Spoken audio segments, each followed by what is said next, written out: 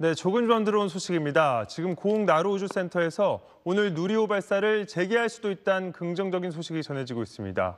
홍승영 기자 다시 연결해 상황 알아보겠습니다. 네, 홍 기자 소식 전해주시죠.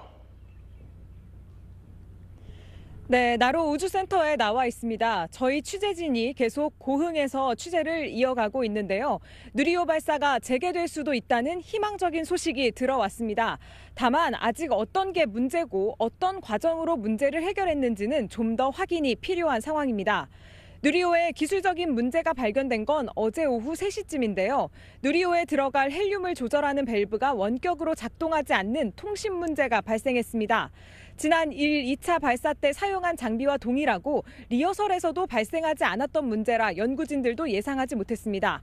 항우연은 누리호 내부가 아닌 외부 장비 문제인 만큼 누리호를 그대로 세워둔 채 밤샘 작업을 진행해 왔습니다. 네, 그럼 오늘 발사가 가능한 분위기인가요?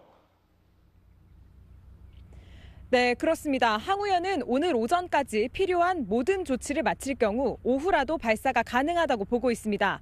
만일 오늘 3차 발사에 나선다면 어제 확정됐던 시간처럼 6시 24분 전후 30분 안에 발사가 이뤄지게 됩니다.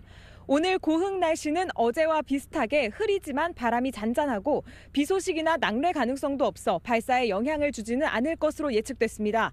지금까지 전남 고흥 나로 우주센터에서 SBS 홍승현입니다.